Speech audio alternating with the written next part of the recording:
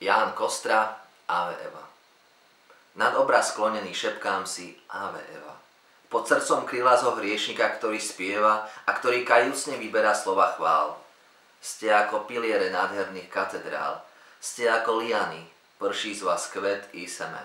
Griechu i k modlitbe kľaká k vám mužské pleme, žiadosťou šialené rúti sa do bahna a trepotavým snom vylieta na rahna.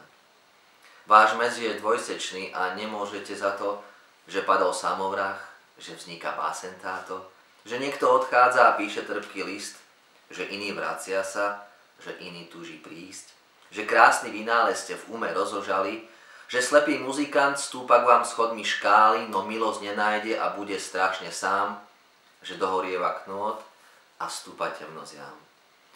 Nie, krása prísna je a neľutosná, krutá.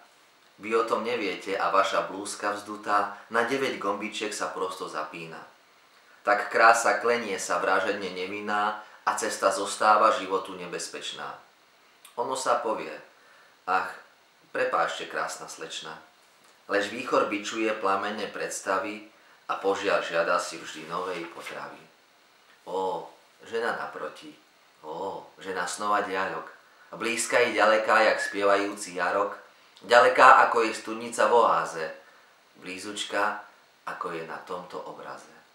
Kráľovna ukrutná na piedestali nachu, milenka chytená, teplúčka koris v machu, krútňava závratu, po ktorej túži muž a eterický sen pre duchovnených múz.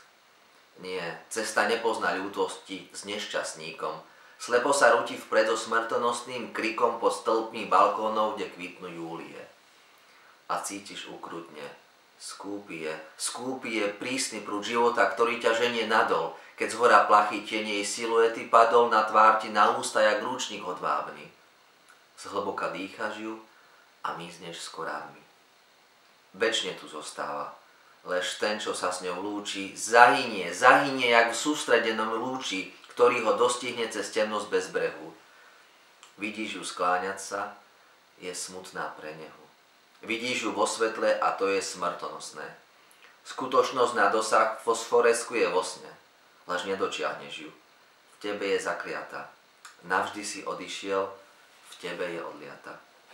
A zasa prosté je objať ju kolo drieku a cítiť pod rukou cez látku blúzky meku to telo dočasné a polzujúcu krv. Jedno ste v súcite tak ako najsám prv. Jedno ste dovedná. A čo je jej, je tvoje rovnako prežíva smútky a nepokoje, rovnako stavia tvár v ústrety teplých slov a prosto načúva s oddanou vďačnosťou. No príde zasa čas, obloha premení sa. I kvet, čo kvitol v nás, jak rana, ktorá hnisá, zaboli v premenách otačajúcich svet. Reč stráca milenec a básnik slovosled. V samotách polnočných, čo cíti, nevypovie. Mlčiaca húšťava, tmy pospletané krovie. Tajomstvo stretnutí pod zrakom nesmierna. Jak luna nahá je milenka neverná. O, nevie, nevie to povedať nikto tuná, aká je žeravá predstava ženy luna, keď prudko tlčie krv po tele dozretom.